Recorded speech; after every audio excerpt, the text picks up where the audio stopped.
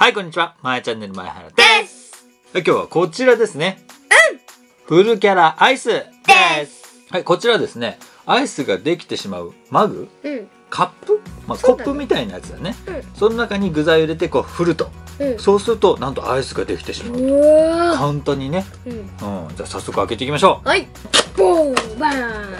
はい、説明書と、お、何やら計量カップとスプーン。うんあ、そして中に、これ、よいしょ取り出してください。お！おおはい。中にはですねこういう計量カップとそれとスプーン。取扱説明書が1冊。あとレシピ集ってのが入ってたね。うん。いろんなレシピ27種類が入ってるみたい。はい。はいこちらがオラフのマグになりますね。はい。ここに顔が描かれてますね。うん。でこれなんか持ってるね。うん。雪だるまみたいなね。で、えー顔の部分をクイッとひねるとこれキャップになってます。うん中蓋そうこれ中蓋ありますね。アルミカップが入ってます。はい。はい、でこのアルミカップの中にジュース入れるんだね。うん。そしてこれが本体になりますね。でここに2 5センチ角の氷を5個入れるんだって。うん。それで計量カップのこのラインまで水を入れてうん。で塩もこのラインまで入れるんだって。うん。でここに入れる。うん。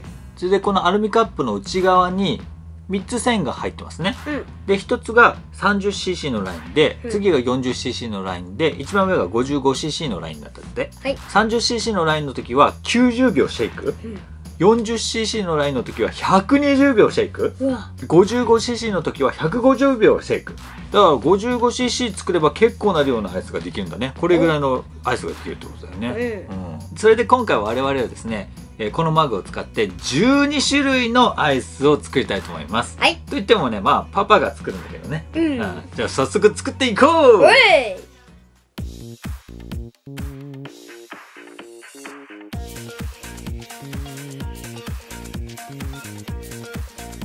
レッツフリフリタイム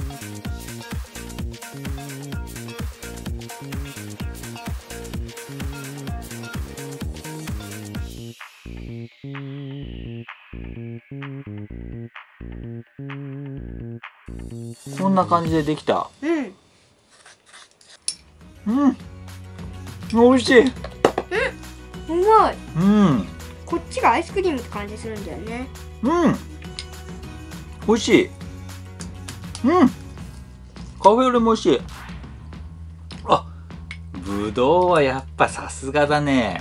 すごいうまい。本当に？うん。リンゴジュースもいい感じ？うん。本当に？うん。うわ酸っぱ。すごいうまい。うまい？天国の甘さ。よかったね。うん。紙ですか？紙ってますか？うん。そうですか。よかったね。すごくうまい。うんクランベリーもすごい美味しい。はいということで12種類食べてみました。はい。どれが一番美味しかったか。あそうだ。じゃあランキング形式で発表していこうか、はい。じゃあ第3位は？せーの。いちごミルク。オレンジジュース。やしんか、うん。あーさっぱりしてたもんね。うん。でも大丈夫だった？チョコレートミルクと一緒に食べて酸っぱかったけど大丈夫だったあの最初だけ。うんあーその後もすごいうまかった。あーそっか、うん。パパはいちごミルクだな。あ。うん美味しかったあれ。じゃあ第2位はせーの。チョコレートミルク。おお一緒か。一緒か。うん。まあそうだよね。そうだね。美味しかった。うん。うん。じゃあ最後第1位せーの。プリン。